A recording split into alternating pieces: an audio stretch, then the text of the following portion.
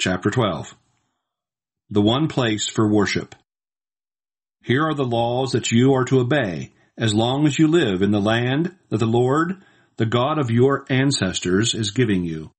Listen to them. In the land that you are taking, destroy all the places where the people worship their gods on high mountains, on hills, and under green trees. Tear down their altars and smash their sacred stone pillars to pieces. Burn their symbols of the goddess Asherah and chop down their idols so that they will never again be worshipped at those places. Do not worship the Lord your God in the way that these people worship their gods. Out of the territory of all your tribes, the Lord will choose the one place where the people are to come into his presence and worship him. There you are to offer your sacrifices that are to be burned and your other sacrifices, your tithes and your offerings, the gifts that you promised to the Lord, your freewill offerings, and the firstborn of your cattle and sheep. There in the presence of the Lord your God, who has blessed you, you and your families will eat and enjoy the good things that you have worked for. When that time comes, you must not do as you have been doing. Until now, you have all been worshiping as you please, because you have not yet entered the land that the Lord your God is giving you, where you can live in peace. When you cross the Jordan River, the Lord will let you occupy the land and live there. He will keep you safe from all your enemies, and you will live in peace. The Lord will choose a single place where he is to be worshipped, and there you must bring to him everything that I have commanded, your sacrifices that are to be burned, and your other sacrifices, your tithes and your offerings, and those special gifts that you have promised to the Lord. Be joyful there in his presence together with your children, your servants, and the Levites who live in your towns. Remember that the Levites will have no land of their own. You are not to offer your sacrifices wherever you choose. You must offer them only in the one place that the Lord will choose in the territory of one of your tribes.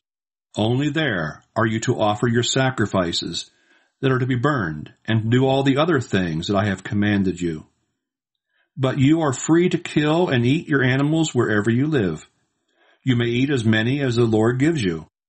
All of you, whether ritually clean or unclean, may eat them, just as you would eat the meat of deer or antelope. But you must not eat their blood. You must pour it out on the ground like water. Nothing that you offer to the Lord is to be eaten in the places where you live. Neither the tithes of your grain, your wine or your olive oil, nor the firstborn of your cattle and sheep, the gifts that you promised to the Lord, your freewill offerings or any other offerings.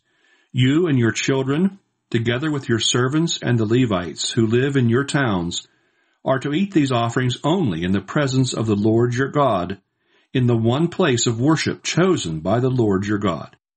And you are to be happy there over everything that you have done. Be sure also not to neglect the Levites as long as you live in your land. When the Lord your God enlarges your territory, as he has promised, you may eat meat whenever you want to.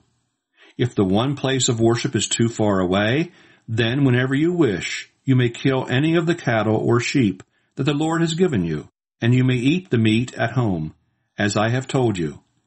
Anyone, richly clean or unclean, may eat that meat, just as he would eat the meat of deer or antelope. Only do not eat meat with blood still in it, for the life is in the blood. And you must not eat the life with the meat. Do not use the blood for food, instead, pour it out on the ground like water. If you obey this command, the Lord will be pleased, and all will go well for you and your descendants. Take to the one place of worship your offerings and the gifts that you have promised the Lord offer there the sacrifices which are to be completely burned on the Lord's altar. Also offer those sacrifices in which you eat the meat and pour the blood out on the altar. Obey faithfully everything that I have commanded you, and all will go well for you and your descendants forever, because you will be doing what is right and what pleases the Lord your God. Warning against idolatry. The Lord your God will destroy the nations as you invade their land, and you will occupy it and settle there. After the Lord destroys those nations, make sure that you don't follow their religious practices, because that would be fatal. Don't try to find out how they worship their gods, so that you can worship in the same way. Do not worship the Lord your God in the way they worship their gods. For in the worship of their gods they do all the disgusting things that the Lord hates. They even sacrifice their children in the fires on their altars. Do everything that I have commanded you. Do not add anything to it or take anything from it.